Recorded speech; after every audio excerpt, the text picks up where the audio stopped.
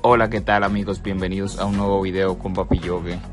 En este video lo voy a mostrar cómo guardar una publicación en Instagram o cómo guardar un video, cualquier tipo de publicación, un video, una foto. A veces estamos en Instagram y vemos una publicación que nos gusta y queremos a veces descargarla para verla más tarde o tenerla en el celular, pero no sabemos cómo. Yo le voy a enseñar la forma aquí de cómo te de guardar esa publicación de otro Instagram, de otro usuario, sin tener que descargarla ni, ni descargar ningún tipo de programa ni nada. Es muy fácil y sencillo. Lo primero que tienen que hacer es tener una cuenta de Instagram, obviamente. Nos dirigimos a lo que es Instagram aquí. Este es mi Instagram oficial, me pueden ir a seguir. Mi otro Instagram me lo hackearon. Me pueden seguir en este, aquí subo mucho contenido. Y nada, fácil y sencillo. Vamos a ponerle un ejemplo aquí.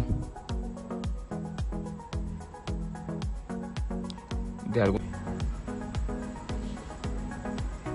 Déjame esperar que llegue un poco porque está muy lento mi internet. Aquí vemos una publicación. Esta es una youtuber que yo sigo. Que ustedes la conocen seguramente. Si no la conocen, la pueden seguir también. Kimberly Loaiza. Entro aquí a una publicación de su foto. Me gustó esa foto y yo quiero guardarla sin tener que hacerle print screen o captura de pantalla. Es fácil y sencillo, nos dirigimos aquí a esta parte de, de la derecha, que, este, que parece como un lacito. Le damos aquí en guardar en colección.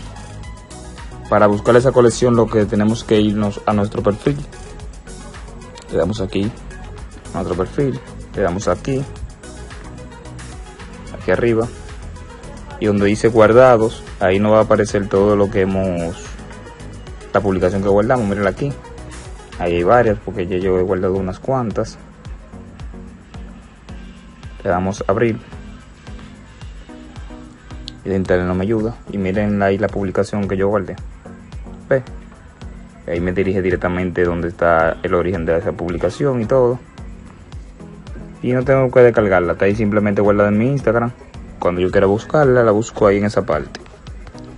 Es muy fácil y sencillo, señores.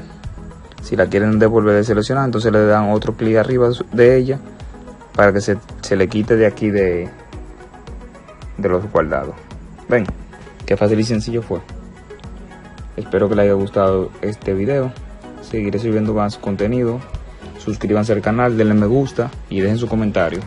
Si tienen alguna otra duda o quieren un video nuevo de algo, déjenmelo en la cajita de los comentarios.